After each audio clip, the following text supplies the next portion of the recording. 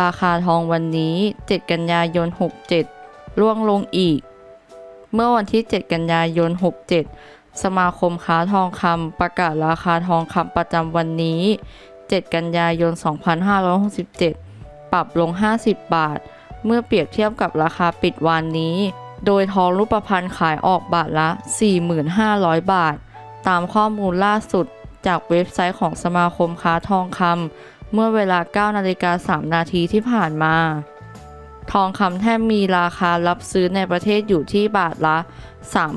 39,900 บาท ขายออกที่บาทละ 40,000 บาท ตามประกาศครั้งที่ 1สำหรับทองรูปพรรณ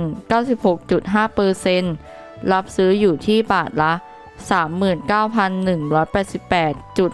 39,188.60 บาท ราคาขายออกบาทละ 4,500 บาท ส่วนราคาทองคำโลกหรือ Gold Spot อยู่ที่ 2,498 เหรียญสหรัฐต่อออนซ์สรุปราคาทองคำวันที่ 7 กันยายน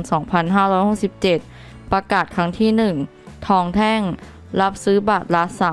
39,900 บาท ขายออกบาทละ 40,000 บาท ทองรูปพรรณรับซื้อบาทละ 39,188.6 บาท ขายออกบาทละ 4,500 บาท